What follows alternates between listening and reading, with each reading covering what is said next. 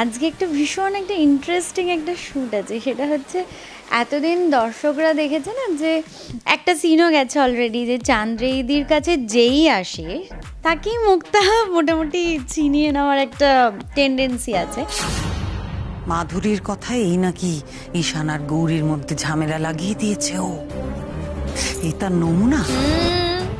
এই মুক্তার চোখ না সব দিকে ঘোরে, বুঝেছ? আজকে সেরকম একটা সিন আছে যে দাদা ভাইয়ের কাছে ধরা পড়তে পড়তে আমি বাঁচবো। মানে একটা আমারই বয়ফ্রেন্ড কিন্তু ওই আর কি, মুক্তার বয়ফ্রেন্ড তো, আজকে থাকে, কালকে চলে যায়, এরকম একটা ব্যাপার। তো ওখানে আর কি মানে ধরা পড়তে পড়তে বাঁচবো, এবার কীভাবে বাঁচবো, কি হবে, সেসব আমি কিচ্ছু জানি না। তো দেখা যাক মানে বয়ফ্রেন্ডকেও আমি বলেছি, তুমি এসো। ও বাড়ির পাঁচিল টপকে এসছে, ঘরের ভেতরে ঢুকবে বলে বাট অ্যাট লাস্ট কি করে যাবে বাঁচবো?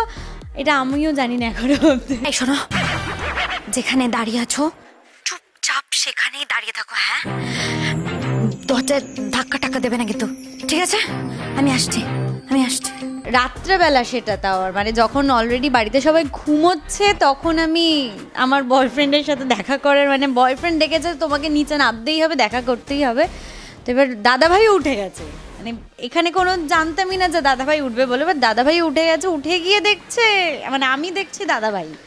তো ওটাই, দেখা যাক কি হতে চলেছে। আদৌ আমি বয়ফ্রেন্ডের সাথে দেখা করতে পারব কি না আদৌ এই বয়ফ্রেন্ডটা থাকবে কিনা, সেটাও হলো একটা বড় কথা।